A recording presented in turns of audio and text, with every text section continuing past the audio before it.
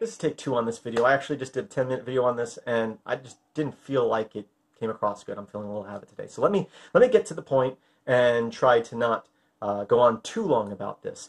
Uh, comments on one of my previous videos where I'm talking about Android phones versus other phones um, and basically how if you can unlock an Android phone, uh, unlock the bootloader, you pretty much have control over it. And I also talked about how uh, Android phones and phones in general in my opinion, aren't very secure because they don't really ask you for passwords except for when you, you know, passcode to log in.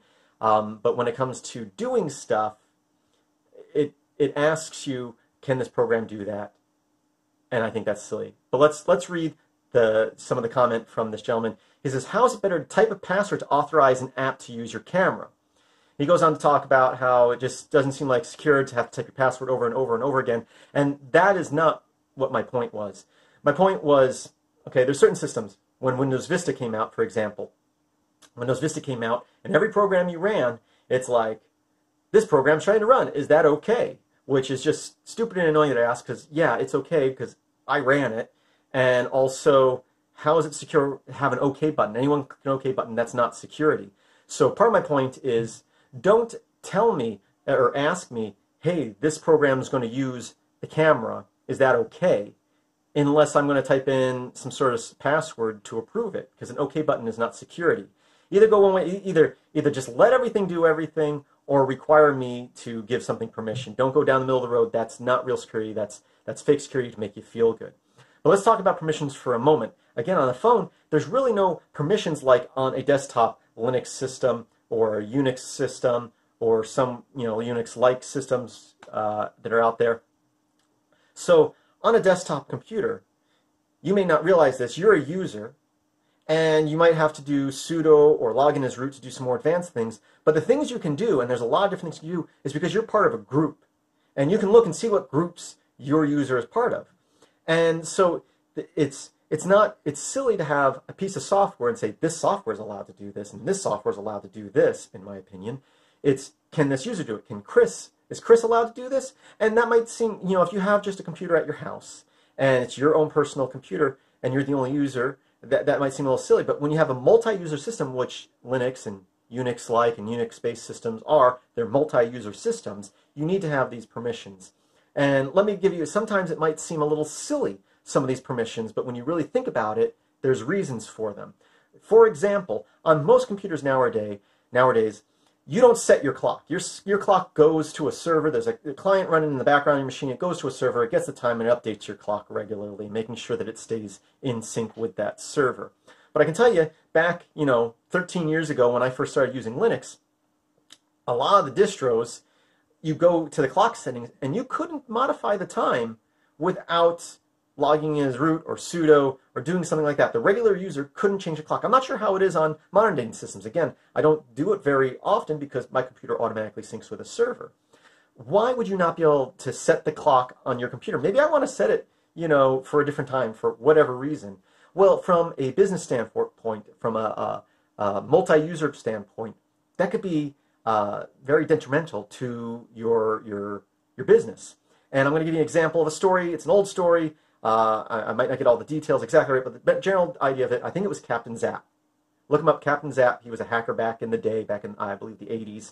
And um, back then, he found connection to a server. The server was owned by some phone company. I don't remember what phone company or if they say in the story. He got in because, I believe, because he just tried for the username guest and the password guest, and he was logged in, and he snooped around for a little bit, and supposedly the only thing he really did was change the clock of the server from AM to PM. So whatever time it was, let's say it was 6 PM, he switched it so it's at 6 AM, or the other way around. Is that a big deal? Yeah, it cost the, the, the, the phone provider lots and lots of money, because it took them a couple of weeks to figure this out until bills started going out. Because you see, back in the day, there were things called peak hours when it came to phone usage. And especially if you're making, you know, long distance phone calls, um, if you called someone during the day, it was more expensive than if you called in the middle of the night in off-peak hours. Well, he just flipped the time around on the server. So for weeks, everyone who was making phone calls during the day was getting a discount on their calls, and the people at night were getting charged too much, but no one realized it until the bills went out. And that was just a big mess. And all he did was change the clock from AM to PM. So there's an example. I don't know what group you need to be part of, uh, what the group is called on a Linux system, but there is a group you need to be part of if you want to change the clock. You also remember changing the clock is actually changing settings on your motherboard because your motherboard keeps track of your time. And so that's some access that you want to have secure. And here's another example that, that a lot of you may have come across. So I get a lot of people talking about how they go to use an Android, or not Android, uh, an Arduino, and they um, go to plug in their Arduino, they start up the Arduino IDE, and then they go to upload it, and it says they don't have permission. So a lot of people end up doing sudo to start the Arduino interface, which you shouldn't do. That's not what you're supposed to do.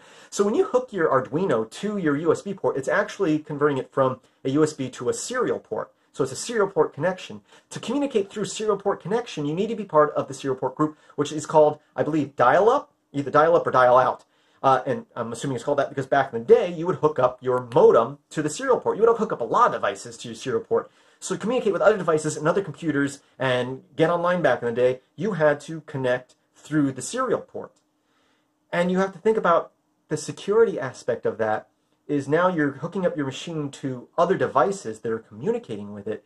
You don't want just any user being able to do that.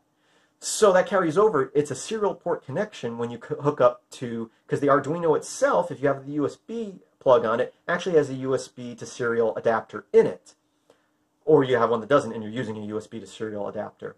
So all you have to do is add yourself to the uh, dial up or dial out, I think it's dial up group, so, you know, you would sudo, and then there's a command, uh, it's like change group or add group. I, I don't even remember off the top of my head. This user to dial up group. And then that user has to log out and log back in. And then you can start up the Arduino interface and access the serial port.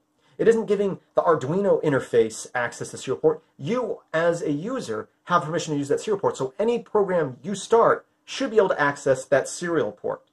So you see how that works? It's, it's not this software has permission. It's because you should trust the software on your machine. So if you don't trust your software machine, that's, that's your first problem. But you should trust your software. Your software shouldn't be doing anything malicious. So your next concern is the users on your machine, and you want to restrict users when you have multiple users. You, you may you know, not want certain people changing certain settings, settings on your machine. So that was the first question that person asked. And the second question he, or comment he says, uh, I mentioned uh, in the other video where you know, a quick way to check, and this isn't the only way, it's just a quick way, a rule of thumb for me, is to find a project, and I gave Lineage OS as an example, which is a community-based Arduino um, project. Go to a project like that, look at their list of devices. If your device is on that list, or you're looking to buy a device and it's on that list, that pretty much means that you can unlock the bootloader. If you can unlock the bootloader of a device, you own that device. You can then root it with ease, you can change the operating system, um, but if it's on that list, in theory, you should be able to unlock the bootloader. Otherwise, it wouldn't be on that list. It wouldn't be supported. But his point is, he says, you know, having a phone that has Lineage OS um, at the time of purchase doesn't really mean that it's always going to be supported. He gave an example of the Motorola G4, uh, and I have a Motorola G. I can't. This might be a Motorola G4. It might be a Motorola G2. I think it was. It might have been a. Yeah, it's one of those two. Anyway, and I have Lineage on that, but I haven't updated in a while. But yeah, he's right. Lineage um, no longer supports that. And my point wasn't that find it on the list of a project and that project is always going to support it. That was not my point at all. My point was if it's on a project like that, that means you can unlock the bootloader, which means that you personally have control of that device. Doesn't mean that there's always going to be somebody there to help you or do it for you. It'd be nice to think that Lineage OS is going to support all devices forever, but it's just unrealistic. But the truth is, you can get the Arduino, or sorry, the Android source code, because Arduino Android is free and open source software under the GPL and Apache license. So you can compile Arduino Android yourself and put it on your phone, you know, and you have to know where to put the drivers and stuff like that. And have I ever done that? No. I thought about doing it once and I had to download like 50 gigs worth of source code and I was like, no, no, I'm not going to bother with that.